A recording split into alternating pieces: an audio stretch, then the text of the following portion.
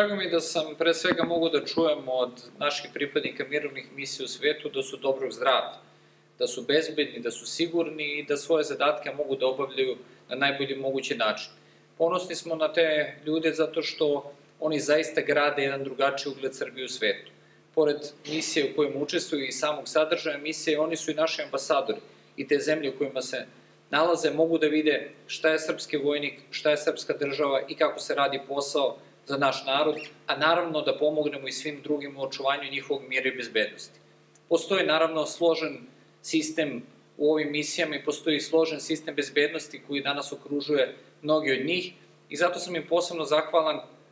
zato što svoj posao rade na tako ozbiljan i odgovoran način. Zahvalan sam zato što su otišli ove misije, zato što nisu razmišljali o sebi i svojoj sigurnosti, već tome kako da gradi ime Vojske Srbije i kako da, ima, da gradi ime naše zemlje. E, pre svega smo naravno zabrinuti za one pripadnike koji se nalaze u područjima u kojem je u poslednjim nedeljama bilo nemira kao što je Centralna Afrička republika, ali sam imao prilike da čujem da oni na vrlo ozbiljan način sagledavaju sve faktore, da se trude da stanje bezbednosti naših pripadnika bude na vrlo visokom nivou i da naravno zajedno sa generalštabom i sa našom državom